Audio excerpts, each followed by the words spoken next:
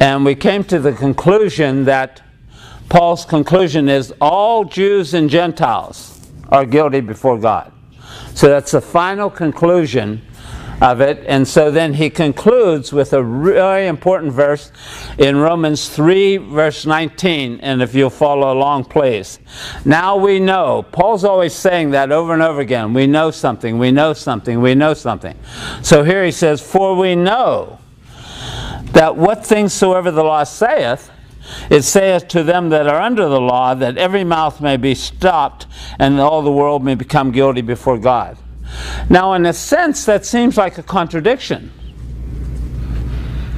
Because think of what he's saying. Because who was the law given to? Israel. Only to Israel. So why would he be saying, now to, for we know that whatsoever the law saith, it saith to them that are under law that every mouth may be stopped and all the world may become guilty before God. Remember, I said that a lot of people have no knowledge of why the law was given. If you would talk to most people, and please, I'm not trying to put people down, but people who have not studied the Word of God or know it, if you'd say, when was the law given? Well, some people say, well, I think it was given to mankind in the beginning. To Adam and all of us, the law was given so that we could, you know, it was given to us to understand what good and bad is. Well, we know that's not true. How do we know that? Go to John 1 17. And if somebody will read that, please.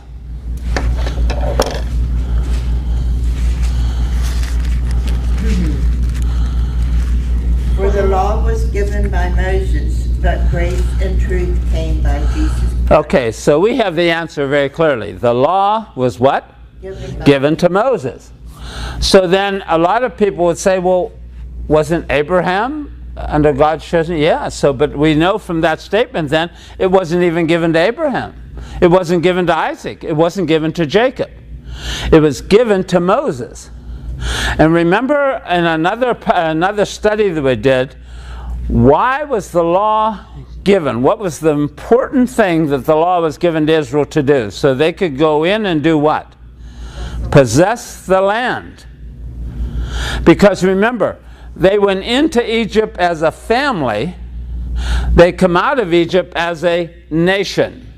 They were born at, uh, that was the first time we're born. When he says to Nicodemus, Nicodemus, I say unto you, that I say unto thee, Nicodemus, singular, ye, who the nation Israel must be born again. And they will be born in a day, according to Isaiah 66. So it was given to Israel for a purpose that they could go in and possess the land. The law is the righteousness, or we might say the rightness of God. So there's nothing wrong with the law, it is perfect.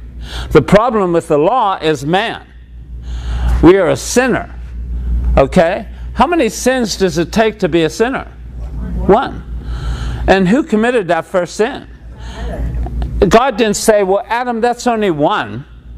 So I'm going to forgive that one, and if, if you don't do it again, I'll keep you in line. No, it took God, Adam out of the presence of God. He was taken out of the Garden of Eden, a place where he communicated directly and walked with God, and he was taken out of that.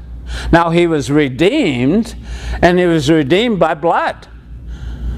Because remember what God had to do? He went and shed the animal took their skins and covered Adam and Eve with the skins, showing that it's always a blood message.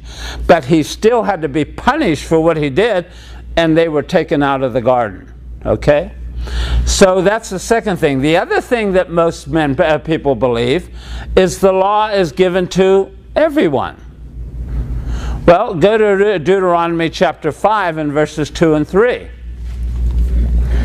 If you would talk to most people, say, well, the law was given to all of us.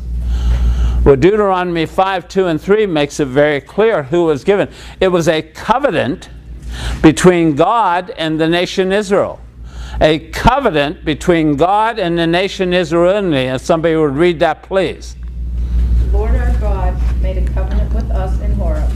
The Lord made not this covenant with our fathers, but with us, even us, who are all of us here alive this day. So Moses says it wasn't even given to Abraham and I, was it?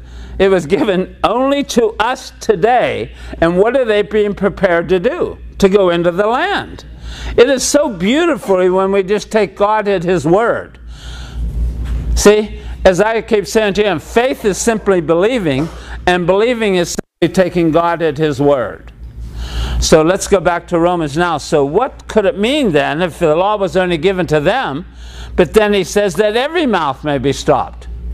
Well, that's why we have uh, that's why we have Romans, and I want to apologize to everybody. So you can change that in your notes. This was not to say Genesis. I'm getting old. This was to be Romans. Romans 1 through 3, and I apologize. So in Romans 1 through 3, why? Because he is already declared in Romans 1 what? Gentiles to be guilty before God. So what he's really saying is, I've already proven to you in Genesis 1 that the Gentiles are guilty. He gave them over, he gave them over, he gave them up. So now what he's saying is, now I'm going to put the Jews in that same uh, situation, guilty before God. So therefore, it's not a contradiction. It's saying now I place the Jews in the same position I did the Gentiles, and now all are guilty before God, and every mouth may be stopped. So that's it's not a contradiction, it's just a conclusion to it. I've already put the Gentiles there. I've already showed you that they were guilty. Now I'm showing the Jew is also guilty.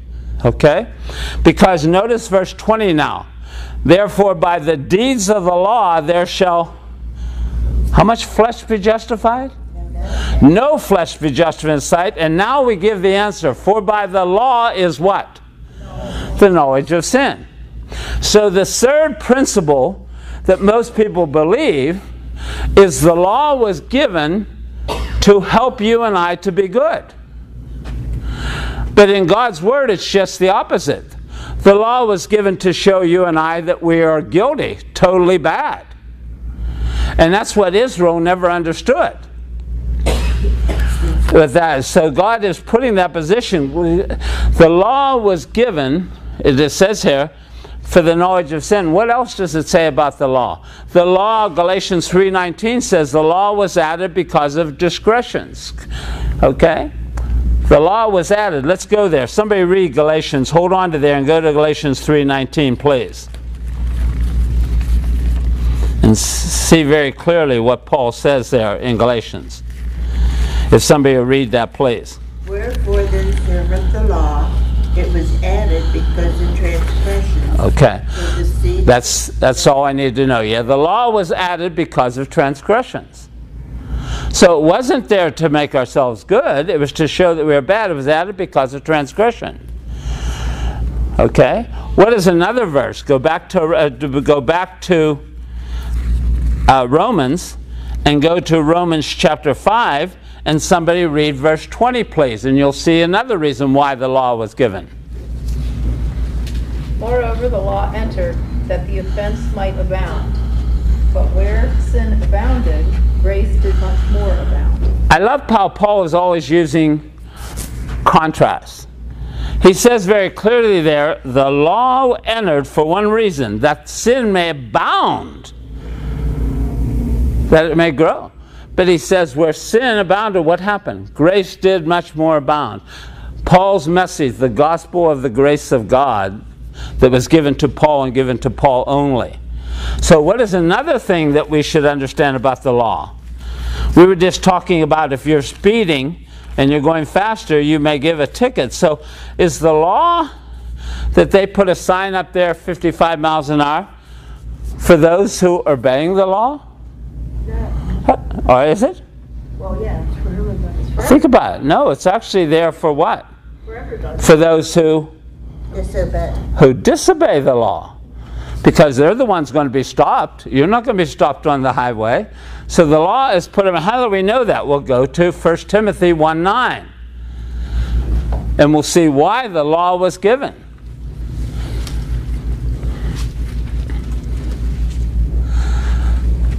We don't make a law that no one should murder somebody for those people who do not murder. It's made for those who do, so they can be punished for their crime. Somebody read 1 Timothy 1 9, please. Knowing this, that the law is not made for a righteous man, but for lawless and disobedient, for the ungodly, for sinners, for unholy, profane, for murderers of fathers and murderers of mothers, for manslayers. So Paul makes it very clear. So that's the opposite of what most people think. The law wasn't made to be as good because it said it wasn't made for a righteous man, but for what? Unrighteous. For someone, for the lawless, right? So the whole concept of what people believe about the law is not true, but the problem is they don't study the Word of God. So when I was a kid, it's probably not done anymore, maybe even when you guys in school, we had a big plaque on our school, and it was the Ten Commandments. And they put it right on the wall of one of the halls there. Okay? And so most people thought, again, why is that there, Thor? Because that's to teach you how to be good. Well, we see from the Word of God that it's the exact opposite. So go back to Romans, please. So those concepts that most people believe along, first of all, it wasn't started with Adam or Abraham and Jacob, it was started and given to Moses. The second thing we get to understand that it wasn't made to uh, given to people to be good, but to show that every man is guilty before God. And then we know the law was given to a nation for one specific person so that they would have the ability to go in and possess the land if they obeyed the law. If they did not obey the law, what did God do to them finally? There was consequences. Certain degrees, Leviticus says a thing, and what was the final degree? God would take them where? Out of the land and they were never able to keep the land. That's when Christ came to this earth. Who was in charge of the land? The Romans. They were under their control. That should have never happened. Okay. Now let's go back, please. So now is what is Paul going to give? Paul doesn't leave us there. Paul gives us an answer from Romans 20, uh, 3.21 to Romans 3.28. And we're going to look at each verse very clearly. Paul doesn't leave us all guilty. He gives us an answer to the conclusion here. But now, well, Paul's saying something must be true at immediately at this time. So we know in God's Word, every single verse in God's Word is either in time past, has to do with in time past, or it has to do with but now, or it has to do with the ages to come. Every single verse has to do with one of those three things in time past, but now, in ages to come. And what did Paul say about you and I as Gentiles, the uncircumcision, in time past? We were, according to Ephesians 2, we were without God. We were aliens from the commonwealth of Israel. We were strangers from the covenants of promise given to them. We were without Christ and we were without hope. Wow. That's our condition in time past. And that condition in time past is true when Christ was here in the Gospels and was true still at Pentecost. And we'll see this in a little bit. But Paul says now something is new because this has to do with Paul's revelation. But now the righteousness of God without the law is manifested or made known, being witnessed by the law and the prophets. Well, the first part, part is really easy to understand, and it's so beautiful. It's the first time that anybody's ever said this. Peter never said this. Christ never said this in earth. The Old Testament doesn't say this. John doesn't say this. James doesn't say this, but now the righteousness of God without the law is made known. Right now. But the problem is the second part. What does he mean then? Being witnessed by the law and the prophets. For a long time, this confused me, and I'm only going to give you what I see. You may see something different, and if you study it and can show me, you'll say, Galen, you were wrong. And that may be true. But when I look at it, it's very clear if you look what was taking place before. For 1500, what was witnessed by the law and the prophets, for 1500 years, God put Israel under the law. And the prophets talk about that. And what was the conclusion of that? That no one is righteous, no, not one. that the law could not save them, that they were all guilty before God. There's nothing wrong with the law, it's the rightness of God. The problem with the law is mankind. We're all sons of Adam, and that's what Israel didn't understand. The Pharisees, when they said to God, We're sons of Abraham, they forgot one important thing. They were also the sons of Adam. So therefore, they did not consider themselves a sinner. So what is witnessed by the prophets is the 1500, when I look at it, I'm giving you what I see, is the 1500 years that he placed Israel under the law. Because he said that in verse 3, chapter, or verse 1 of chapter 3. What advantage hath the Jew? Or what profit is there of circumcision? Much every way, chiefly because unto them were committed the oracles of God. So for 1500 years, the, the law and the prophets are proving that Israel could never keep it. That's why Paul adds that thing there about he said it's witnessed by because all you have to do is go back to the Old Testament to realize that Israel could never do it. So let's continue now. Look at verse 22 now. Even the righteousness of God, which is by faith of Jesus Christ, unto all and upon all them that believe. Why is our King James Bible so important? Because if you go to almost every other translation, they will change that faith of Christ to faith in Christ. Well, what is believing? That's faith in Christ. So he would just be given something double there.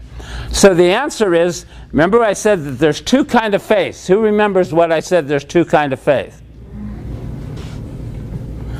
Subjective faith and objective faith. The faith of Christ is subjective faith. It is Christ's worthiness to be believed in. Can we trust in Christ and his accomplishment? That's what the faith of Christ is all about. And it is used in God's Word. We have the faith of God and we have the faith of Christ. So the faith of Christ is his worthiness to believe in. Our objective faith is to believe in Christ as our Savior and His accomplishments and what He did and completed work at Calvary. That's our belief. That's our objective faith. Paul also talks about the faith in Galatians. And what did we say? We, the faith is Paul's gospel. When Paul talks about the faith, he's talking about my gospel the revelation from Jesus Christ that was given to me. So we have the objective, subjective faith of Christ, which is his worthiness to be believed in. And our objective faith is to place our faith in Christ and what he accomplished at Calvary.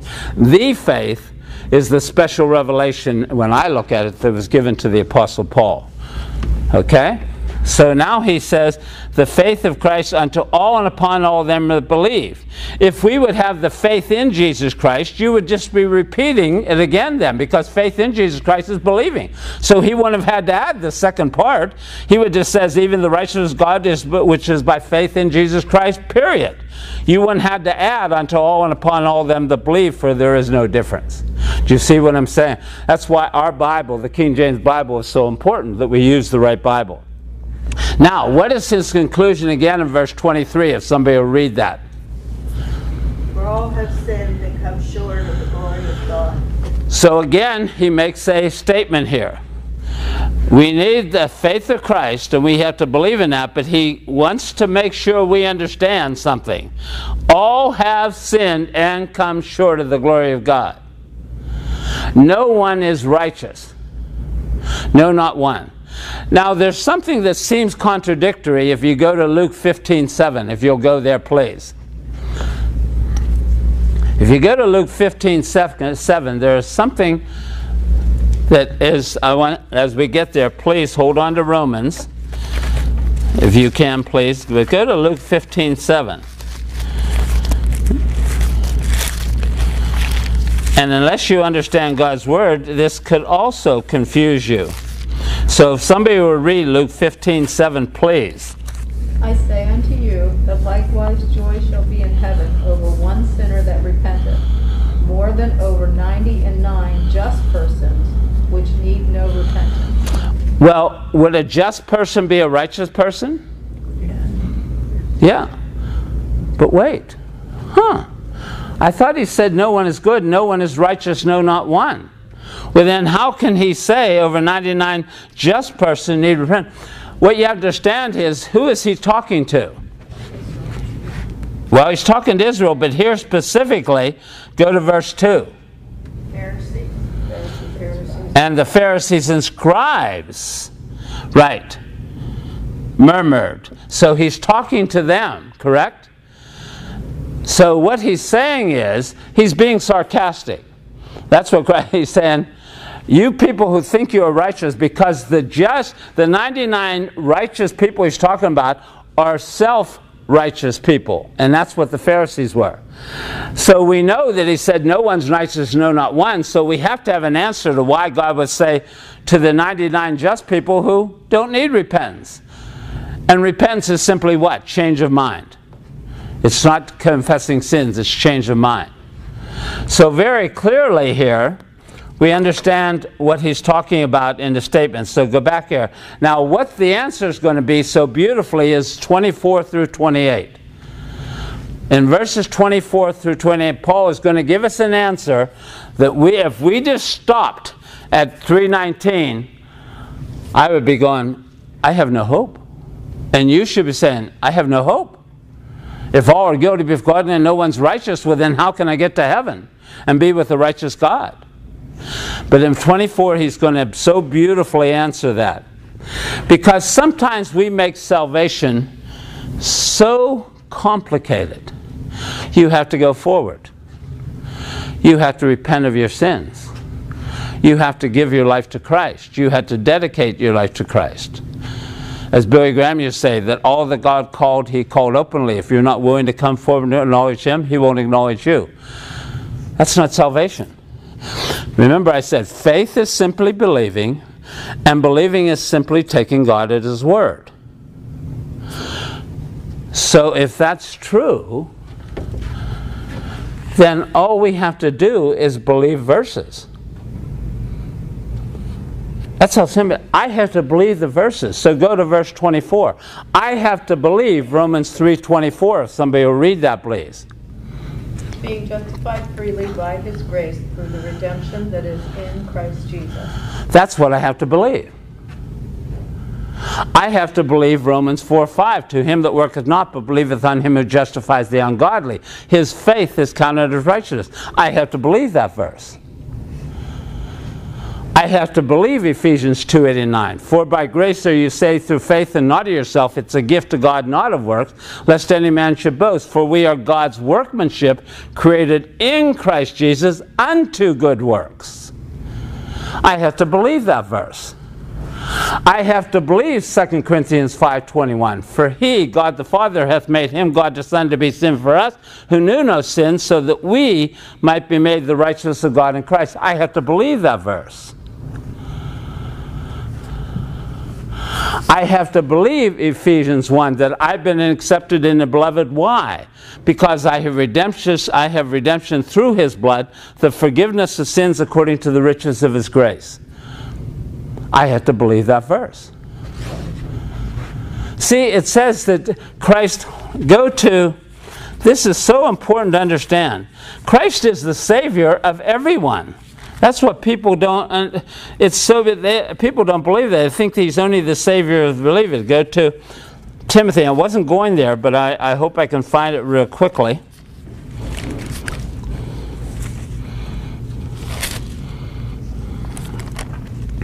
First Timothy 4, I think it is. Yes. If somebody read 1 Timothy 4, verse 10, please. And this will help us to understand when I said faith is believing and believing is taking God at His word. Somebody read that, please, 410. For therefore we both labor and suffer reproach, because we trust in the living God, who is the Savior of all men, especially of those that believe. Isn't that beautiful? He's even sa- the Savior of all that are not even saved today, that are lost. But he said, especially to those who what? And what is belief? Taking God at His word. So salvation is simply, I believe all those verses. I believe I've been justified freely by God's grace through the redemptions in Christ Jesus. I believe that I've been justified by his blood in Romans 9. Therefore, there's no wrath for you and I. I believe that when we are an enemy, we were reconciled to God through the death of his son. Then, being reconciled, I shall be saved through his life. What life? His resurrected life. I believe Romans 4 that Christ was delivered for uh, 25 for my offenses and he was raised for my justification. Therefore Romans 5:1 says, being justified by faith we have what? Peace with God through Jesus Christ our Lord. We're believing those verses. That's the first great benefit I see in our salvation. And what greater benefit could there be that you and I have peace with God, and that's eternal peace, not just for a little while. Therefore, the next verse says we have access into His presence. Did Israel have access into God's presence? Absolutely not. What was uh, placed before the Holy of Holies? A veil. And where was it split? At Calvary. But who was the only one that could go into there? And how many times a year? And he had to carry what with him? Blood and he had to pour it on the what? Mercy seat, which is a type of Christ. But we have access into the presence of God because of simply having faith in God's Word. Okay? Let's go back to Romans. So in Romans chapter 3 now, 24, I said, being justified freely by his grace through the redemption that's in Christ Jesus. 25 is so very important to understand right division. So re- listen carefully as I read. Whom God set forth to be a propitiation, propitiation, that's a full satisfying sacrifice, what he did at Calvary, his cross work, through faith in his blood, there it is, to declare his righteousness for the remissions of sins that are past. To declare his righteousness for the remission of sins. This is right, right division is so important. Right beyond that verse, you should put Acts 2.38 because we're going to see the contrast. Remember what he said. It's the righteousness of God, what? To declare the God's righteousness for what? The remission of sins. Did Peter say that at Pentecost? Go to Acts 2:38. People who try to put the body of Christ at Pentecost and think that's the start of the church, then Peter should have said that. He should have said that everyone there at Pentecost is justified by his blood. But he accused them of cru- crucifying him. You have crucified this Lord. Peter, what should we do? Well, you have the righteousness of God for remission of sins. Is this what Peter said? Somebody read Acts 2.38. Then Peter said unto them, Repent and be baptized, every one of you, in the name of Jesus Christ, for the remission of sin, and ye shall receive the gift of the Holy Ghost. So is repenting and being baptized in the name of the Lord Jesus for remission of sins the same thing of having the righteousness of God for the remission of sins? I don't think so people don't want to study. That's why we have a few people here, and there are thousands worshiping God and praising God and uh, getting their emotions filled, and they have no knowledge. They sit there and have no knowledge of the Word of God. Rightly dividing is contrasting. Paul says, when is this being stated that it's his righteousness for the remission of sins? Paul says, it's now, but now to declare his righteousness. Now, go down to the next verse. Notice what he says To declare, I say, where? At this time. But now, at this time. Not in time past, but now, at this time. Paul says. I love it. His righteousness why? Here he gives the result that he might be just and the justifier of him which believeth in Jesus.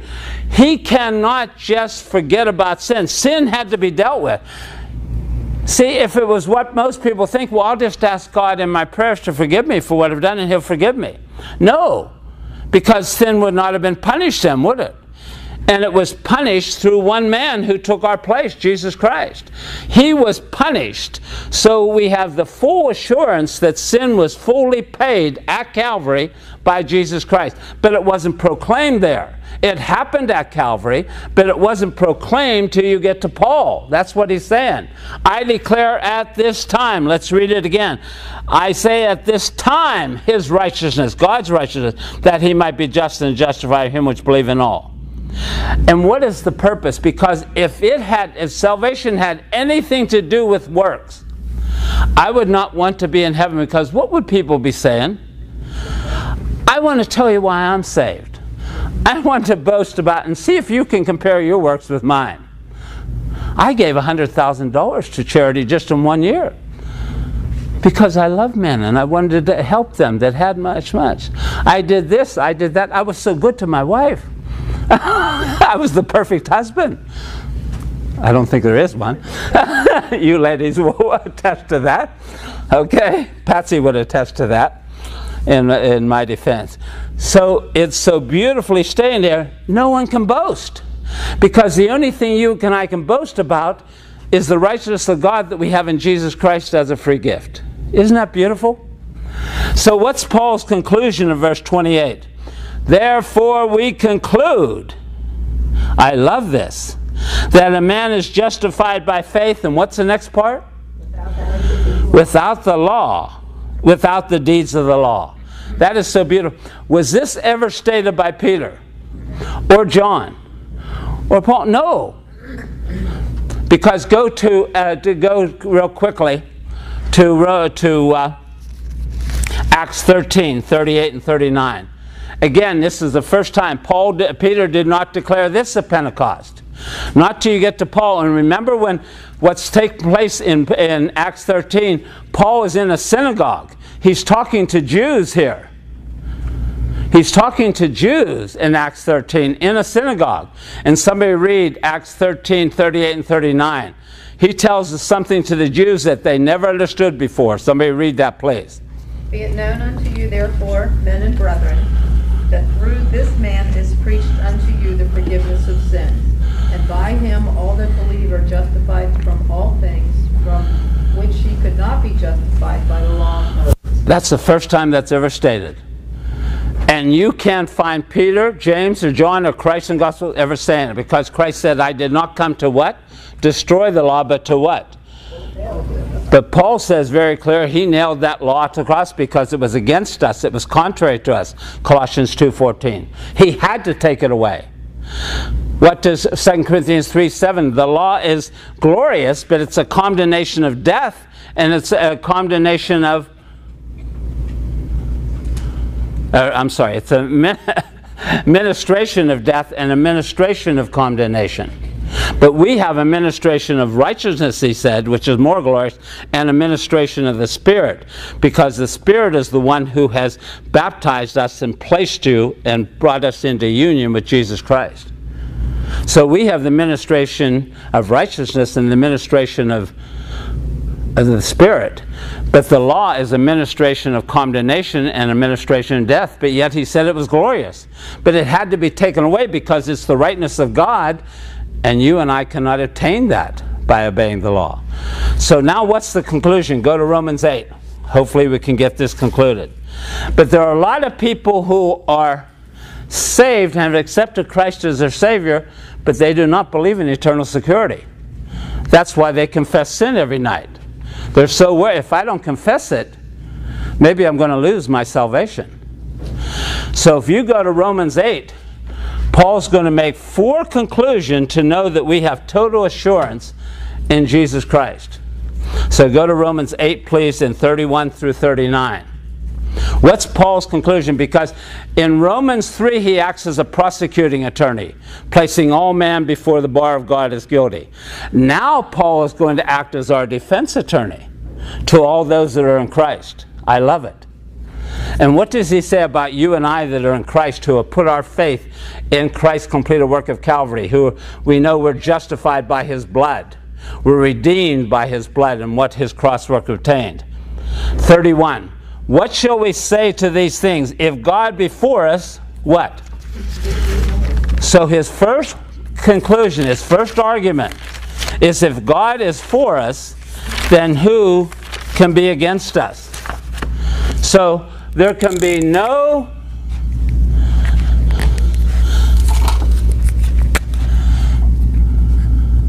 Oh no, I better go in black. Or maybe I guess it.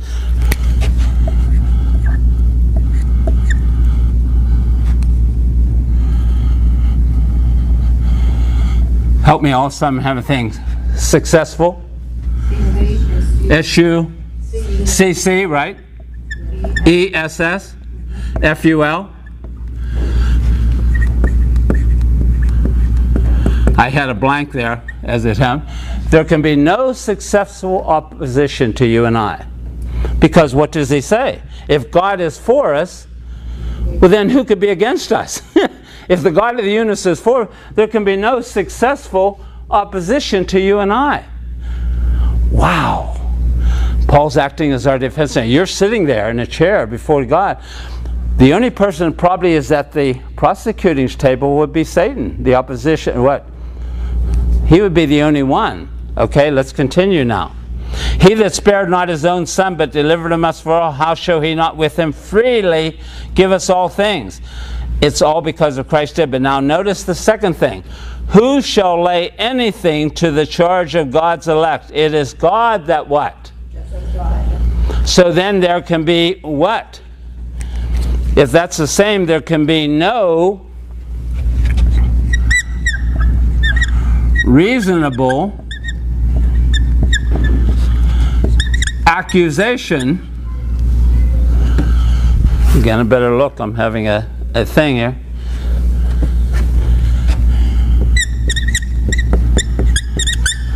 There can be no reasonable accusation that can be made against you and I. Can there? Well, notice the verse. Who shall lay anything to the charge of God's elect? Why? It is God that justifieth. You didn't justify yourself. So the second conclusion is there's no successful opposition to you and I in Christ. There's no reasonable accusation. Go to verse 34. Who is he that condemneth? It is Christ that died, yea, rather is risen again. And Paul says you have been crucified with Christ, so therefore you have already died and you've already been risen. If Christ has been risen, correct? So he says, Who is he that condemneth? It is Christ that died, yea, rather is risen again, who is even the right hand. And what he's doing, what's he doing for you and I? He's interceding for you and I. Wow. So very clearly there, then there can be no condemnation. Wow. What a great defense attorney Paul is for you and I. If there can be no successful opposition to you and I, because it's God, nobody can, and there's no reasonable accusation can be made to, uh, against you and I, and there can be no condemnation. And now to go to verse 35. Who shall separate us from the love of Christ? And you notice he talks about now negative things. He doesn't talk about, he says, because what would Satan be wanting to try to do to you and I? How do you know how do you know God's for you if you're having all these sufferings? You lost your job. You've just been diagnosed with cancer. We have all these problems in the world. But Paul uses them as a positive. Notice that. Shall tribulation or distress or persecution or famine or nakedness or peril or sword? Go down to 37. Nay, we in all these things we are more than conquerors through him that loved us. For I am persuaded that neither death, nor life, nor angels, nor principalities, nor powers, nor things present, nor things to come, nor height, nor depth, nor any other creature shall be able to what?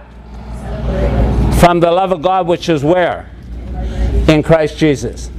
So the righteousness of God is in Christ Jesus, and the love of God is in Christ Jesus. Wow. Everything is centered on Christ. And he over and over says, You and I are in Christ. So there can be no, the last part there, very clearly, there can be no what? Separation. Separation. So Paul acts as our defense attorney here and says to those people who think they can lose their salvation, read Romans 8. Or the audience, the listener, think, yes, I'm saved. Christ is my Savior, but if I commit some sin, I probably am going to lose my salvation. Or if I deny Him, it says He can't even deny Himself, and we're in Christ. So there can be no successful opposition to us in Christ. No reasonable accusation can be made against us. No condemnation because God, Christ has died for us. He's also interceding for us. And there's no separation for those that what? The love of God is in Christ Jesus. So therefore, no charges. The gavel is put down. And he says, You're free. you can leave the Supreme Court of God. No appeals can be made in the last. What's our last appeal here to go to the Supreme Court? And if they say no, there can be no more. Well, there's no more. We're free. That's our blessed assurance. We have eternal security in Christ the moment we put our faith in Christ and His completed work. Father, we are so thankful for this precious word. Oh, if we would just believe these wonderful truths of what we have in Christ Jesus, that we are in Christ, that we had a surgical operation performed on us. Romans 3 through 8 says, You've been justified, sanctified, and set apart. And you died with Christ, and you've been risen with Christ. Therefore, no opposition for you, no accusation can be made against you, no condemnation can be made against you, and no separation from the love of God which is in Christ Jesus. We just thank you and praise you for our precious Savior who died and paid the full penalty of sin for us, that we might have the righteousness of God in Christ. We just thank you and praise you in His precious name. Amen.